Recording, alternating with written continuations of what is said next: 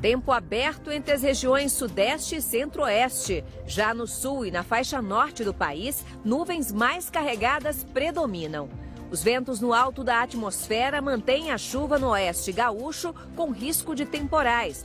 Mas o volume de chuva será menor do que o registrado no início da semana. Na região central, a umidade do ar fica baixa no período mais quente do dia, apesar da chance de chuvas isoladas no fim da tarde.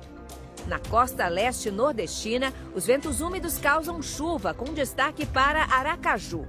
A máxima chega aos 30 graus na capital da Bahia. Em Cuiabá e Palmas, pode fazer até 35 graus. Faz 29 graus em Curitiba, onde pode chover, só que de forma mais isolada.